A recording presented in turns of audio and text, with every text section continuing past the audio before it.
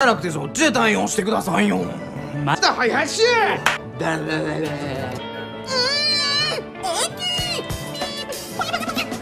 ドミちゃんいやこんぐらい承認はしたんですよねどうだったかなあまたごまかしてる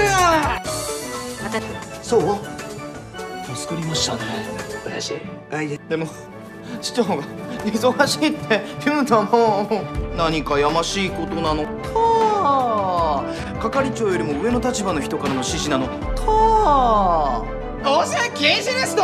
え本当にそんなものが？バカ野郎信じられるわけねえだろあべし僕が市長だったらそうする、見つけるって。親父拍手なんちゃって。です。我々徴税第三係一同これからも市長のためにガンガン税を徴収していきます